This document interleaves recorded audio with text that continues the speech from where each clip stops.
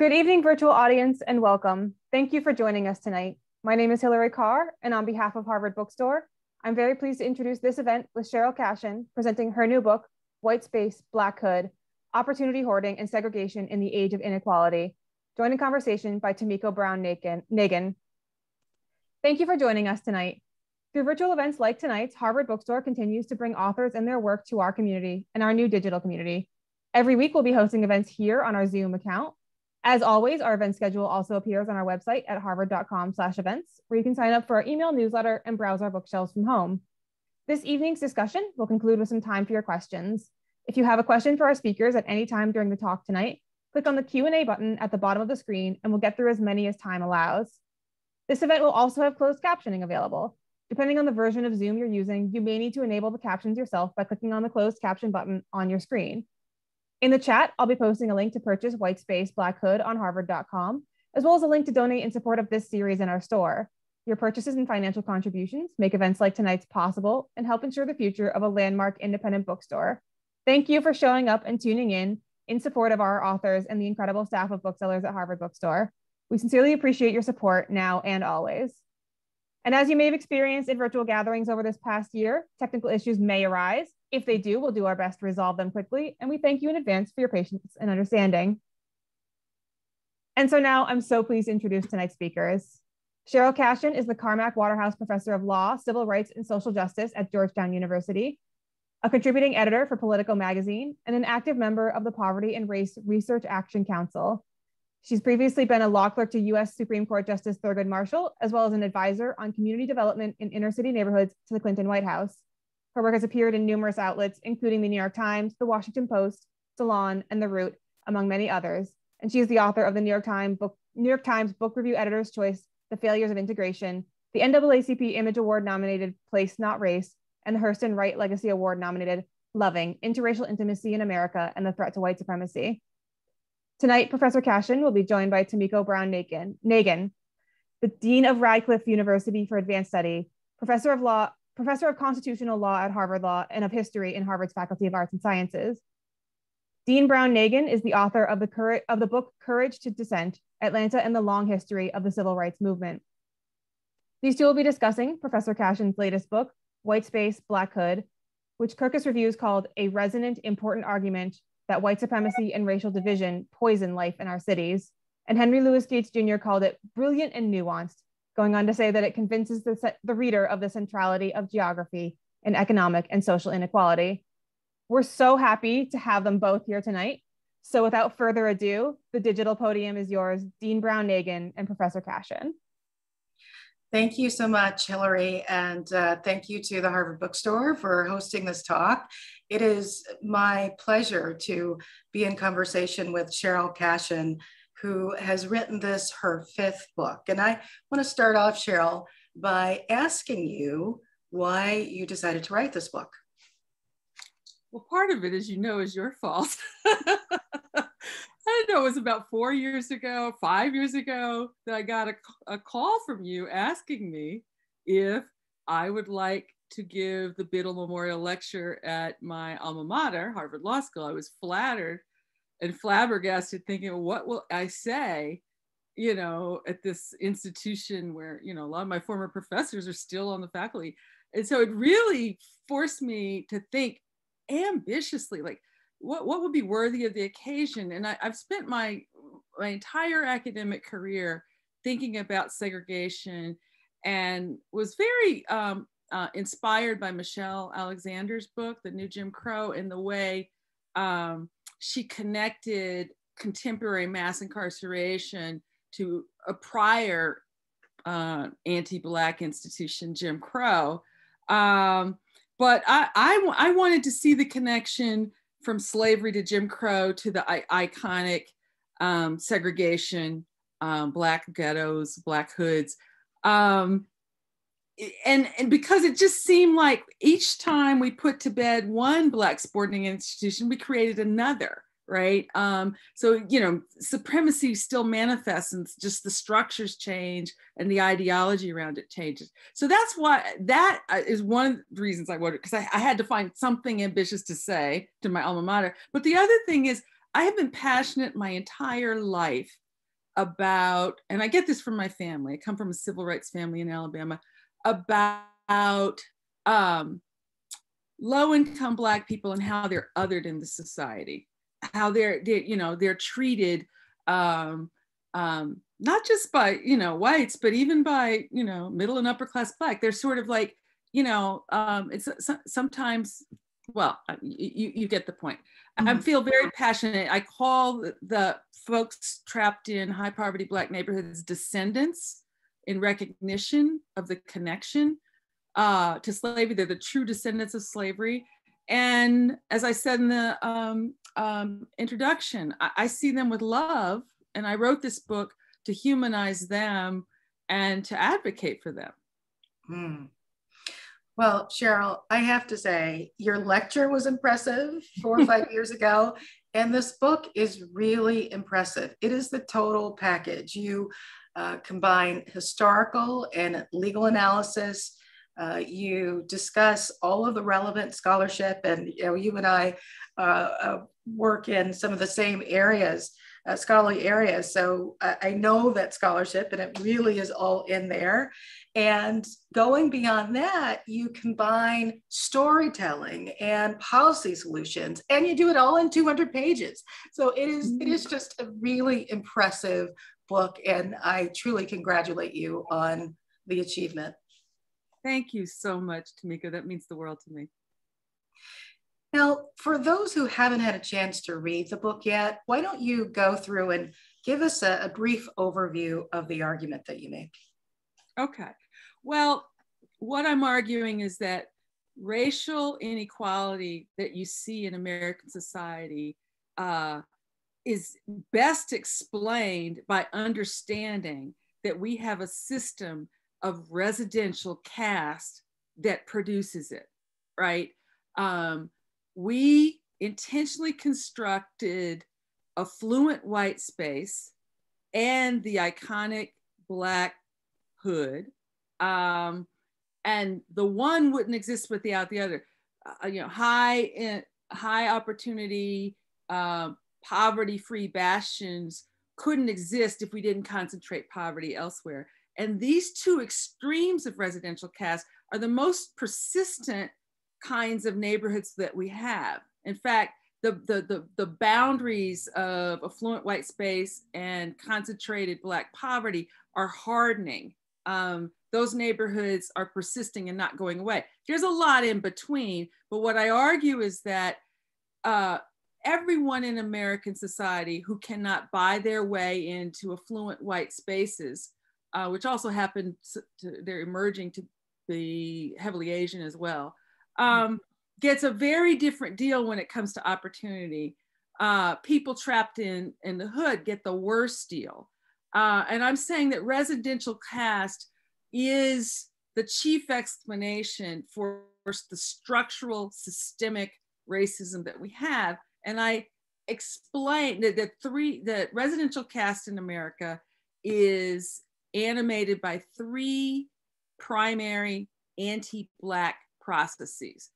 Boundary maintenance, which is a polite word for segregation, mm-hmm. um, opportunity hoarding, overinvesting in affluent white space, disinvesting elsewhere, and stereotype driven surveillance, uh, predatory policing, and also private policing of Black bodies. So mm-hmm. that's uh, the argument of the book and I also and I call for abolition and repair of American residential caste. Yes, thank you. So mm-hmm. I, I want to end up on that uh, that uh, discussion of abolition, but I, I want to ask you about some of your word choices.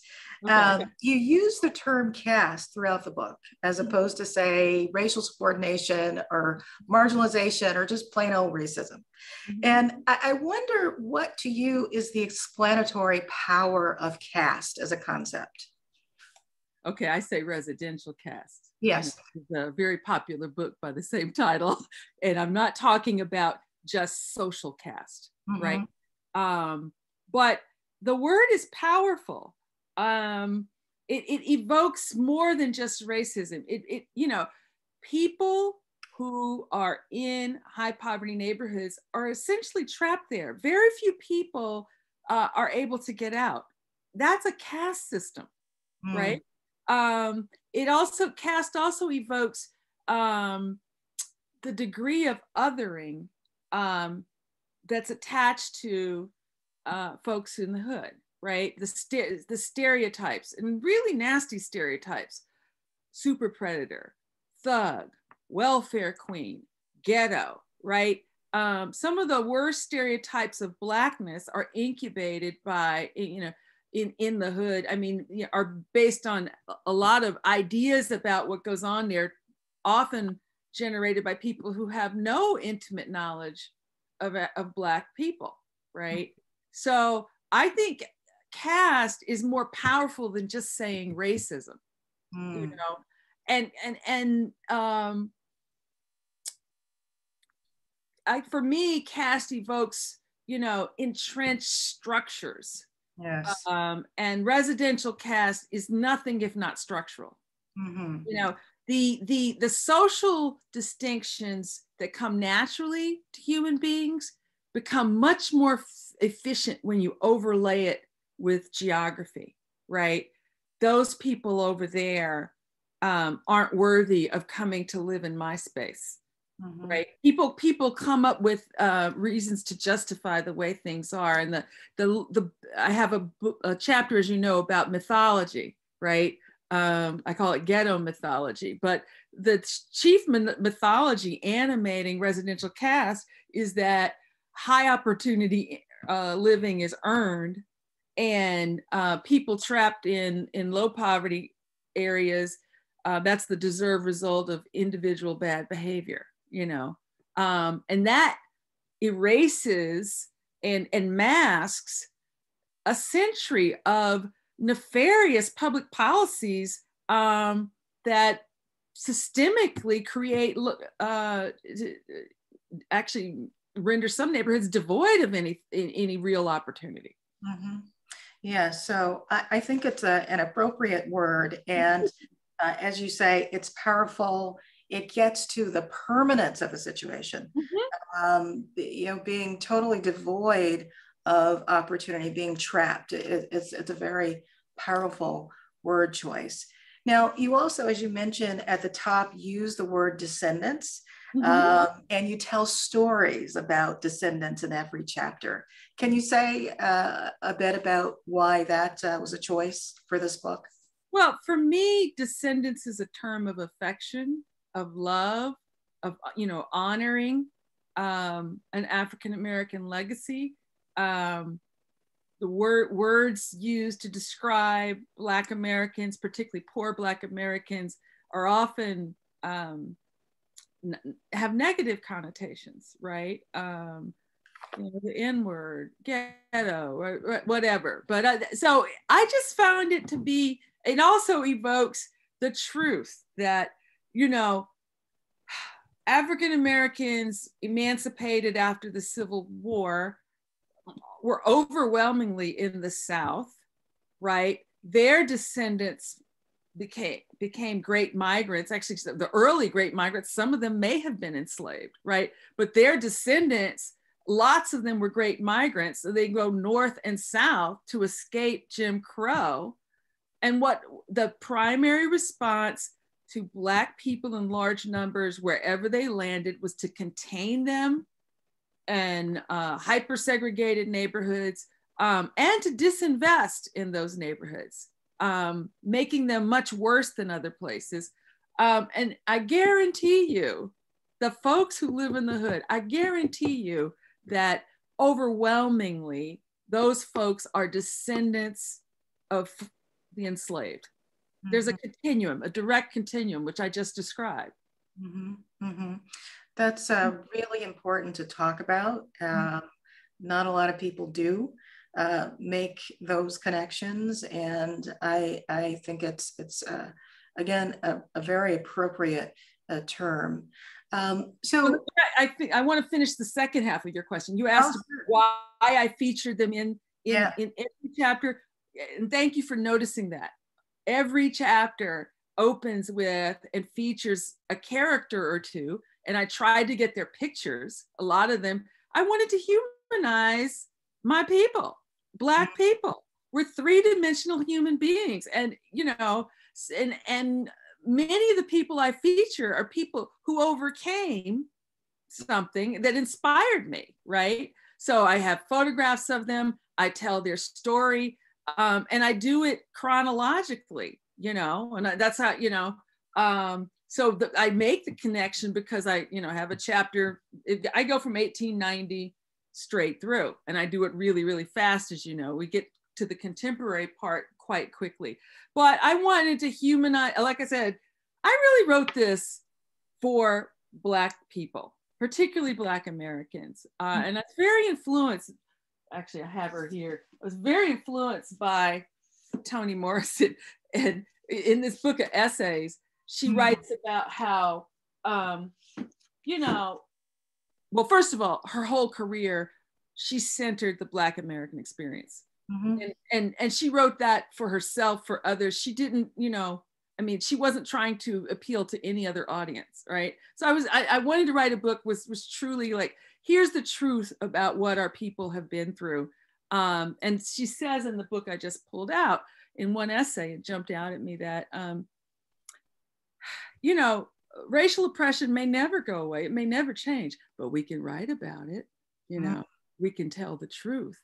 And that's what I set out to do, to, to, to make it clear to myself and my and my people all of these forces that are set against us and they never seem to stop right I, and um, the more i learned the angrier i was but i wanted to just tell the truth about that um, and you know i wanted it to be a bit of a bible frankly where people if you want to understand why mm-hmm. it is you know here here here here mm. yes um, so can you can you tell us uh, one of those stories just pick a chapter and talk oh, about oh okay um oh so many come to me but i'm i'm gonna i'm gonna pick um Lakia Barnett. Okay. Uh, who is a descendant in the technical sense in that she lives in a high poverty Black neighborhood in Washington, D.C. And I interviewed her several times, went to her neighborhood. She lives in, in um, you know, a very, very poor area in Southeast D.C. near the um, um, Maryland line. Mm-hmm and I got to know her because she was a client of a Georgetown Law health law clinic. And to meet this woman, she's a dynamo. She's a really impressive person to me. She has a lot of knowledge and a lot of gumption. And she actually had been uh, middle class and through some unfortunate circumstances found herself and her and her family homeless. Mm-hmm. Um, and I, I follow her through the struggle to get some stable housing. And she was actually more functional than a lot of people around her in this homeless shelter and, and really took advantage of all the services that the Georgetown Law students provided her. And I really, I try to show how much assistance she needed um, and it took a lawsuit because she was discriminated against. She got a housing voucher, and you're not supposed to. Dis- it's illegal in Washington D.C. to discriminate based on a source of income.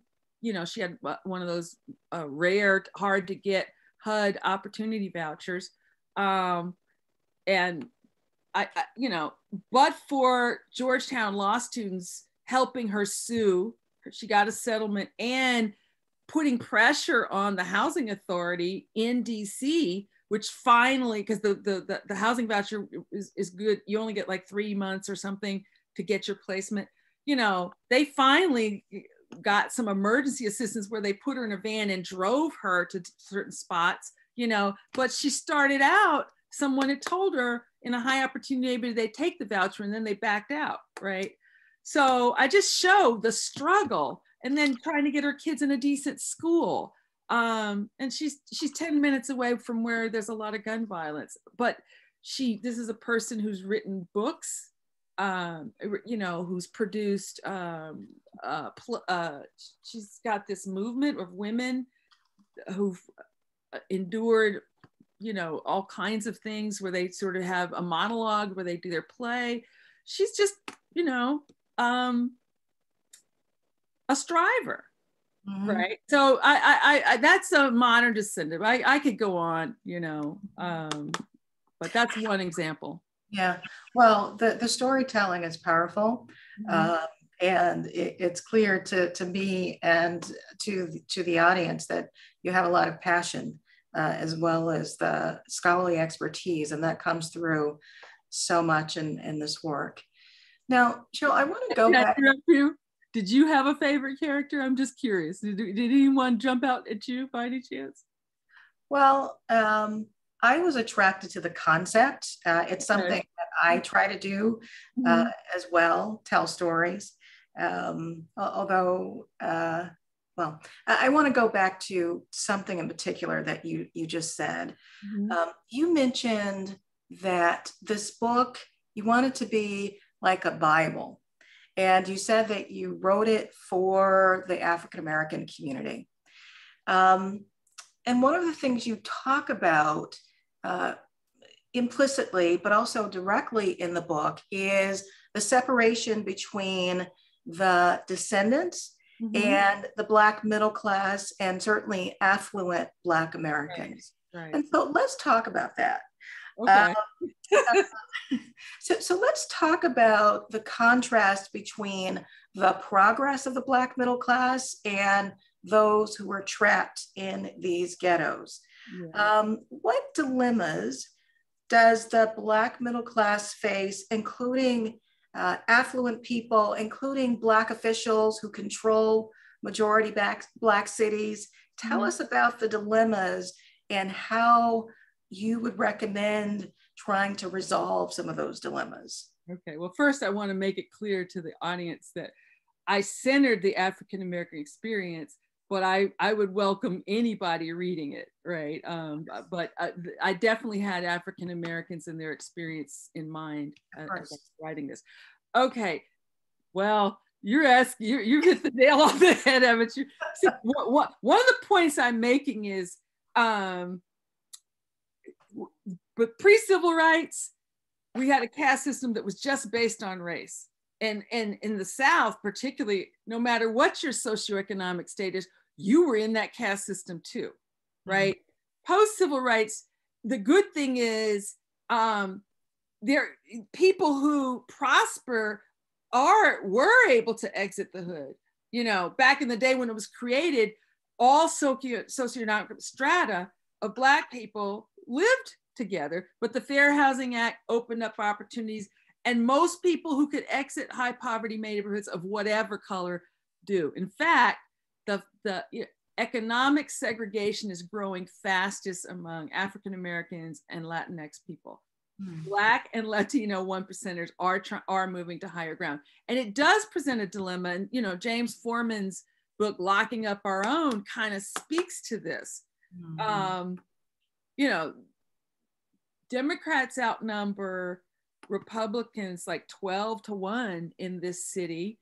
And um, when uh, DC, the city I live in, Washington, DC, was Chocolate City, overwhelmingly um, run by Black people, um, they pursued mass incarceration too, right? And yeah, I'm I, I have heard words uttered about low income Black people that are the same kind of stereotypes that non-black people participate in right?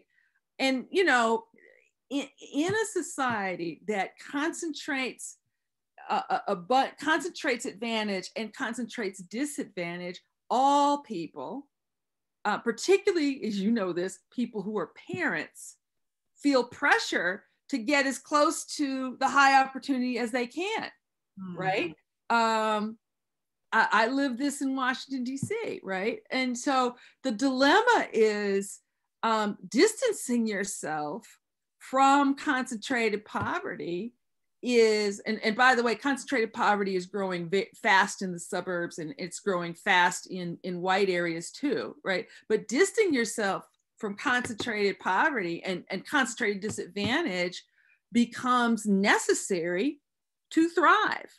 And so we, so, you know, part of the reason is descendants are worse off than they were before the civil rights revolution because they lost the uh, proximity to our most successful black people. And they lost the sort of their social influence you know they lost their tax dollars. And there's a lot of social distance now. Um it's a yeah so it is a dilemma you know and i, I lived that myself. I i put my kids in public charter schools for the first seven years and each year of their education from first grade to through seventh grade each year the poverty rate grew higher. The last year they were in uh, school 53% of the kids were on free and reduced lunch. And I walked the walk as long as it worked for my kids, but it began not to work so much. Um, you know, uh, that's the dilemma. It is. And uh, of course, it's a, a, dilemma that I'm familiar with myself. And I think this book um, really, as you said, uh, will, will help a whole lot of people understand um, the plight of people who are descendants uh, and not fall prey to the mythology that affects everyone in this country. Um, so, so let me ask you about white allies and people of color allies uh, how they're implicated in the problem you identify. What stories are they telling themselves about concentrated poverty? And, and why should they care about these unique circumstances, unique to uh, African Americans? Okay. Well, everybody should care about residential caste because actually it's only working for a very small fraction uh, for those who live in a metropolitan area only about 7% of the population can buy their way into the, the, the highest opportunity places, right? And those places um, exclude, they have exclusionary zoning. They, they, they, they won't, often won't even have apartments, uh, let alone duplexes or quadplexes, right? Um, so they exclude uh, non-rich people. And what a lot of people don't realize is they're actually subsidized by everybody who's excluded. You know, they get golden infrastructure um, um, that's paid for through gas taxes, right? Um, they often get more than their fair share of, of revenues raised through income taxes in terms of, you know, like what what the state decides to to invest in for development, physical development, right?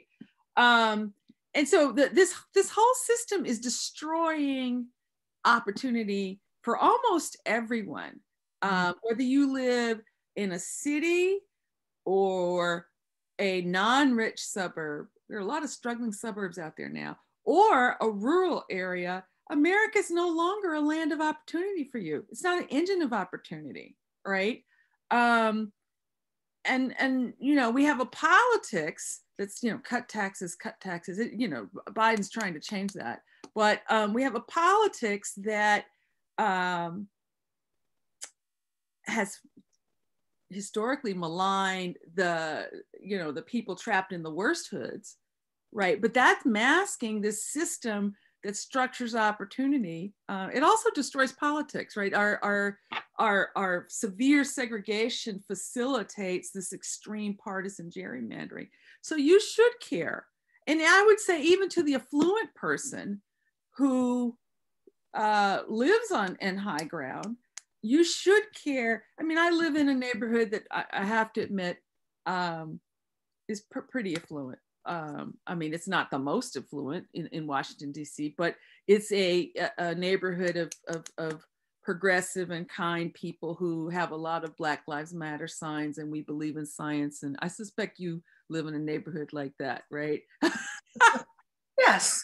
and I, I don't think my neighbors would call call call the police on, on on my black sons in an unexplained situation. I'd like to believe that, right? But um so many people, and we saw this with the um the social protest after George Floyd's slow execution, Um, so many people, I think, in this country are hungry for something better than toxic division, um, fear, a society based on fear, separation. Everybody has to scratch and claw so much.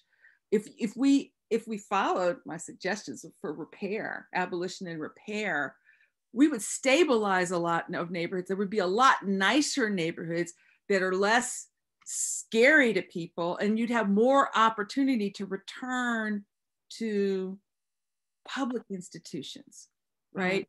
Mm-hmm. Uh, a lot of high income people, um, I mean, the, the, the, high, the hyper affluent are always going to be in their own universes, but you know, two parent professionals feel the need to buy the most expensive house they can afford, either to get into good schools or put spend a lot of after tax dollars for private school, um, to, to, to basically get to opportunity that's stable and good. Great, right? Um, in a society that wasn't based on residential caste, that had an attitude of care rather than predation, particularly for descendants, um, and less not fear and othering, uh, I think opportunity would be more widely distributed for everyone. Mm-hmm. Well, that's a great, great answer and uh, insight that I, I hope it's persuasive to your readers. I'm going to turn to audience questions in just a moment. So I would ask our audience to please uh, post your questions uh, uh, so that I can uh, ask Sheryll about what's on your mind. But first, I want to turn to Sheryll the question of what to do about all of this. There's a chapter that's titled Abolition and Repair. I wonder if you could share what's in that chapter. What, what's your vision of what needs to be done to dismantle and replace residential caste? Well, I want to start off by saying that um, I my starting point was reading W. Du Bois, Angela Davis. I'm not the first person to talk about uh, abolition and creating an abolition democracy. So my vision really came uh, from them.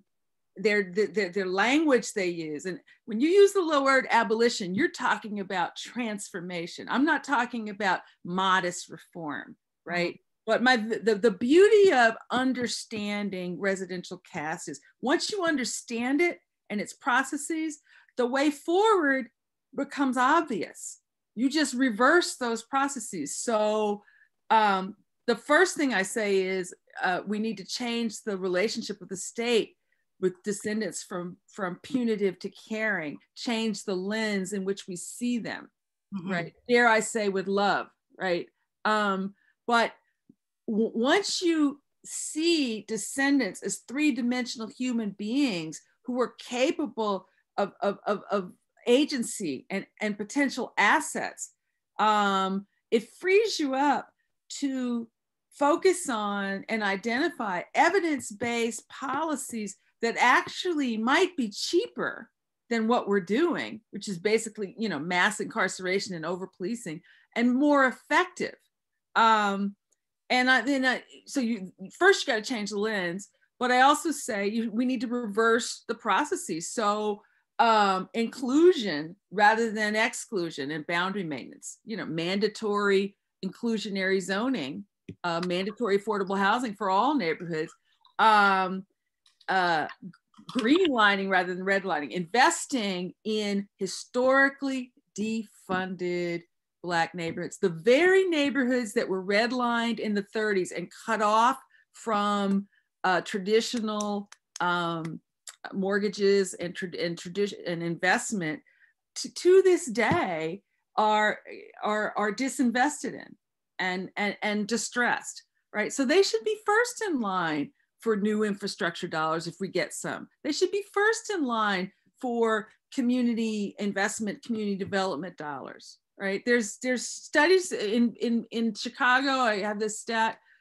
Uh, Chicago spends three times more money in white neighborhoods than black neighborhoods um, in its development dollars. That's not right.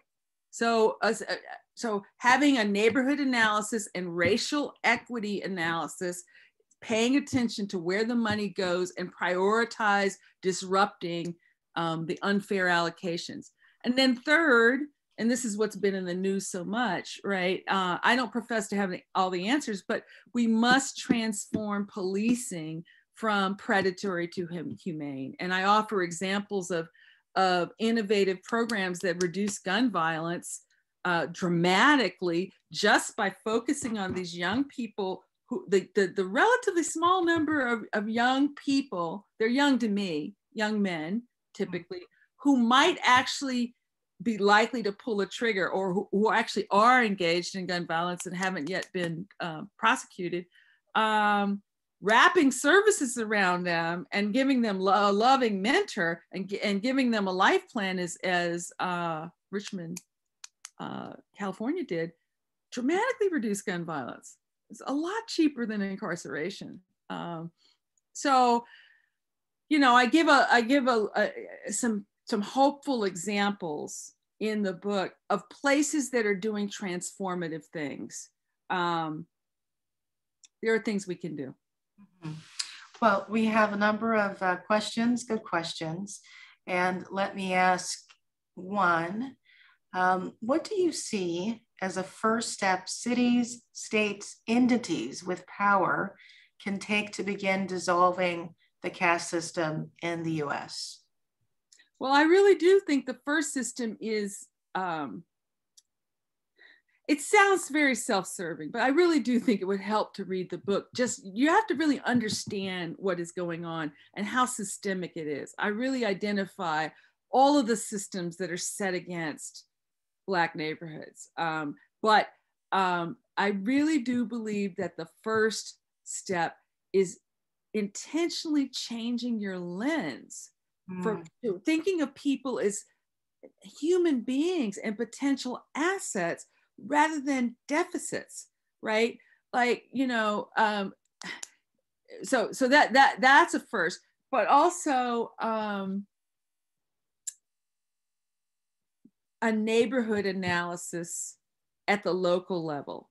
You should put into your budgeting process and and seattle the twin cities and baltimore are doing this now, where you regularly, annually assess and look at where dollars been, have been spent and, and intentionally try to achieve racial equity. This is what Joe Biden at the, you know, I was so inspired within hours of being inaugurated. Joe Biden signed an executive order calling for a racial equity um, um, exercise and put Susan Rice uh, in charge, a formidable woman, a mm-hmm. friend, right?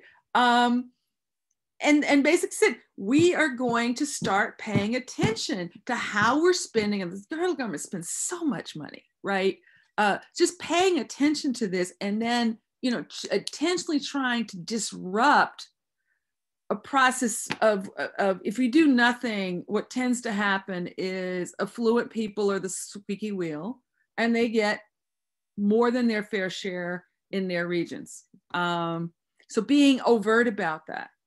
Uh, and then, you know, there, there's so many dimensions, but Du Bois and uh, Angela Davis talked about abolition is, is, is as much about building up as it is about tearing down and that you need to, to, to repair democracy as you go, right? Um, we should grow the multiracial coalition that that claims black lives matter and build and keep you know sustain the coalition. So you have people who will show up at zoning meetings to, to say i stand for affordable housing everywhere or st- who will fight for integrated schools right? Um, it's a it's it's a multi-pronged thing. There's no silver bullet. Mm-hmm. yeah so so your your um, discussion reminds me of the concept of beloved community that and you know people in the civil rights movement would um, would discuss, and I, I think it's uh, quite resonant with what you're saying about starting from love. Um, so, uh, Sheryll, there are questions about um, examples of locations, cities that have made real progress. You mentioned Richmond, California, and guns. Can you give us some other examples of, of cities that have taken the kinds of steps that you think are important? Well, you might be surprised. I, Louisville, um, Kentucky, which I feature quite a bit in the chapter on schools, um, was a very segregated, uh, segregated in its neighborhoods and segregated in its schools. Um, about 90% of the uh, students who went to schools were black in the city and 90% was white in the outlining area. Over a 20 year period, uh, through a series of actions, the Louisville metro area uh, became much more integrated and built a constituency of people who volunteered and you know this is what parents involved with want you know you had a majoritarian politics in which they, they the majority of people wanted integration and when they um, uh, after they got out in their court order with with uh, school desegregation they continued their school integration um, they consolidated the government city and county um, and residential segregation went down a lot in that area. It went from being a hyper segregated metro area to just being mo- moderately segregated. That is success, right? Mm-hmm. Now they they and now they're they've done a lot of education around what happened in the 30s and why it is that black neighbors in the West End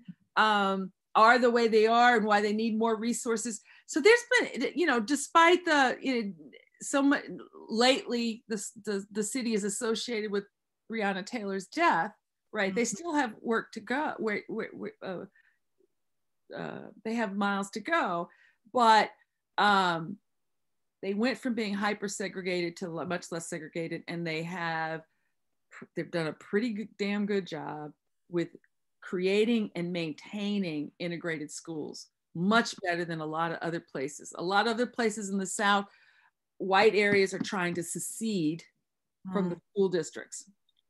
Right. Um, so Sheryll, uh, I, I want to go back to the conversation we were having about essentially, um, you know, affluent Blacks being a part of elite spaces. There's a question mm-hmm. about that. Mm-hmm. And it's asking about how people, how individuals can rectify the disconnect of identifying as a member of elite spaces while trying to strive for abolition of the institutions and structural barriers that have allowed some people to thrive, mm-hmm. both mm-hmm. black and white. So there's a dissonance between yeah, there is. and what we're trying to do. There is, you know, and I mean, I'm you, you arguably I'm guilty of it. Although I, you know, I live in one of the there's two stably integrated neighborhoods in the district with a long, I mean, like a 50 year uh, tradition of Black professionals living with whites and Jews, right? Um, um, and I'm in one of the, I was in one before Shepherd Park, now I'm in Crestwood, right? Um, so I, I, I, I chose integration, right? um, this neighborhood I'm in is not economically integrated. Um, it's not far, but my, here's my point. Um, there's more appetite for integrated spaces, stably integrated spaces than there are schools and, re- and neighborhoods to fulfill that appetite, right? Um, because of our policies. Uh, so I'd say yes, there's dissonance, but while you're living your life, you can lend your time and treasure to organizations that are trying to make life better. You can uh, vote for and support policies that will make life better, even if you yourself are not um, in close proximity to people who are really struggling. Mm-hmm. Mm-hmm. And there is a question that's asking about your writing process, asking about uh, what, what it was like working with your editor. And uh, the most interesting part of the question is what did you leave out of, of the final publication? And can you talk about that? Well, writing is uh, it's it's both a joy for me. It's also I, I don't struggle when I'm I'm I'm I mean I don't I don't I've never had writer's block. I've never understood that, right? You know, I I enjoy the craft of writing. You know, I go to bed every night reading good writing. I love literature, right? Um, for me, this is my fifth book, and my process is when I have an idea, I get a book deal with a deadline for submitting the book. I, I can't write unless I have a deadline. And I'm if I got a deadline, I'm very focused. And for me, my friend is word count, you mm-hmm. know, and I, I I'll just say I write, you know, when I've got the the research done and I'm ready to write, you know, I map it out and I set a, a goal. When I was young, I'm not young anymore. Um, not gonna say my age though, but when I was younger, I would try to bang out a thousand words a day. I can't do that anymore. But as I was writing this, I would say, you know, 500 words a day. Some days, if I just wasn't feeling it, I would say something easy that I knew I could accomplish 300 words a day. Once you start, you'll start, but it's just getting up and doing it. Um, this film about a, a documentary about um, my heroine, uh, Toni Morrison, she said that she would get up at 5 a.m. I can't get up that early. I would get up at 6 a.m., 7 a.m. when when the house is quiet and try to get my 500 words done. And you know, if you just say you're going to do a certain number of words and just commit to that, uh, you know, in 10 days you got 5,000 words. Mm. In 10 hmm. days you get it's it the math just helps. In a month you got, you know, 15,000 words. Most books these days are like 80, 80 to 100. They, a lot of them don't want you to get too long. At least my publisher doesn't want you to get too long. Uh, what was left out in this book? In this book, nothing. Hmm. I spent a lot of time thinking about it. Um, I really did. And uh, this book, I nothing. Um, others, I'm sure there was, yeah, there was stuff cut in others, but um, well, Thank you for question. Yeah, well, as I said at the top, it's very well structured. It's it's it's a model in so many ways. So uh, I, am not surprised to hear you say that you you didn't leave anything out. You you, you really did it um, in a very powerful way. So other questions. Uh, someone wants to know how the Bronx is doing in terms of um, these issues. I wish I could tell you. I can't speak to the Bronx. I haven't been there. Um, I, I don't have any specifics to offer. I know that the Bronx is not what the Bronx was way back in the day, that there's been an extraordinary amount of redevelopment, um, you know, since Reagan took, I think he was the South Bronx Reagan went to, you know, but I wish I could speak to it, but I, I don't have any firsthand knowledge. I will say in, in uh, a, a, a coda to the previous question, um, I have a degree in electrical engineering. I also have a law degree. And I definitely, you said you were, I, I, you were talking about how powerful it is and how it terms it's laid out. It's the engineer in me that built the argument. You know, each ch- each chapter builds on the other and builds on the other and builds on the other, and then you know, so I melded the passion of history with just sort of a scientific systems approach. Mm-hmm, mm-hmm. I definitely can see it. There's a question about whether your book is in dialogue with race for profit, how banks and the real estate industry undermine Black home ownership. Do you know that work or can you speak to that? Absolutely. I cite it. It, it. I cite it in the chapter on opportunity hoarding, and I commend that book to you. Um, it, it, it, it's shocking how much whatever black wealth we had in housing has been taken stolen from black people um, through predatory lending through you know installment contracts which are, are have re- resurfaced Ta-Nehisi Coates writes about it in the, the case for reparations how black people were preyed on with installment contracts in the 60s you know, where it's like you're buying a house on layaway and you don't get any equity until you make the very last payment. Well, private equity firms, uh, after the foreclosure crisis of the you know 2008 2010 um, have preyed in the very neighborhoods that suffered the most of foreclosure crisis because they were preyed on with predatory loans subprime loans um, they they're going in there and they've been snapping up foreclosed houses like they might pay 5000 for it and then turn it around not fix it up nothing and then sell it for 30000 with an installment contract which is designed to fail mm. it, they, they want the installment uh, buyer to miss one payment. They want them to fail. And what do they do? They just churn it up and give it to another person right? So they are transferring hard earned dollars from essential workers to titans.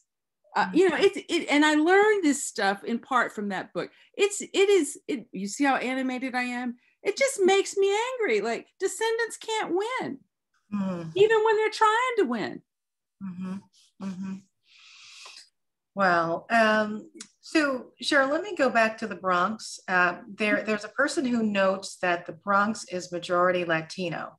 And the question is whether or what the key differences are between the Black experience and the Latino experience. And of course, there's some people who are both. Yes, absolutely. So, the, the, the key difference is that Black people, um, I, told you the story about the great migrants. Uh, before like like the 1990s, I'd say. Um, uh, let's say 1980, okay. Black people were the only population singled out for hyper segregation, right? Latinos were moderately segregated, right? Before this is this is um, Douglas Massey's book American Apartheid, right? Um, at one point in the 20th century, there were nearly 50 hyper segregated cities in this country. Um, and, and, and all of them were places where the great, great migrants ended up, right, in large numbers, right? So the, the segregation has been a defining feature of the African American experience, and it continues to have consequences to this day, right? In Ta-Nehisi Coates writes about this in um, the case for reparations, his piece in the Atlantic uh, magazine. A for an African American making $100,000 tends to live in a neighborhood with the accoutrements and amenities of what whites making $40,000 get, mm. right? So, but as the uh, Latinx Hispanic populations grew with immigration, there are like two cities, two some areas in New York and LA where um, some Hispanics became hyper segregated. But it, what it's not the defining feature. Now there's you know the defining feature of oppression for Latino people, I would say, is you know this sort of anti-immigrant rhetoric, racing them. Oh, you know Donald Trump, the things he said about Mexicans. Um, so you know I, and I say this both in the beginning, the introduction to this book, and in the conclusion. I say that I want to make it clear I'm not saying that other groups have not experienced oppression. And, and uh, I'm not saying that they don't experience it now. Um, I'm writing about residential caste, and residential caste was constructed based on anti Black animus that continues. Mm-hmm, mm-hmm. So it's unique, but that's not to say that other groups haven't uh, suffered and continue to suffer. Right. I make that clear. Yeah. Yes, you do. Um, so it's time for the last question, Sheryll, and it is a question about uh, asking if you have any hope. So things get seem so bad sometimes. Uh, it seems like there is no way forward. What keeps you going? This questioner wants to know. So hope is a choice, right? Mm. You know, we we're in a tough, tough time. When you and overlay a pandemic with this, it's and you know, residential caste. There's there's a reason why there's disproportionate death in Black and Latinx neighborhoods, right? Um, lower opportunity, um, pre-existing conditions. Uh, we didn't talk about this, but residential caste causes health disparities, right? Um, optimism is a choice. My feeling is the forces of darkness in this country, and there's a lot of forces of darkness, want you to be de- so depressed you won't get up and try to fight for anything different. Mm-hmm. Right. And I try to offer, and we've talked about some some transcending scenarios or you know choices people some localities and places are making for something different right um we have to it, we have to have hope and have to keep trying um because if we if we keep if we give up and don't try we're just going to get more of the same mm-hmm. Mm-hmm. well i think your uh, the the chapter where you talk about abolition is a very hopeful chapter and uh, thank, you. thank you thank you again for writing the book and i'm going to send it back over to hillary of the harvard bookstore thank you so much Tomiko, for doing this for me. It's my pleasure. Thank you both, actually. This was really wonderful. Um, and thank you to our audience out there for spending your evening with us. You can learn more about this important book and purchase White Space Black Hood on harvard.com. And on behalf of Harvard Bookstore here in Cambridge, Massachusetts, have a good night, keep reading, and everybody please be well. Thank you guys so much. Thank you, Hillary. That was great. So I think that turned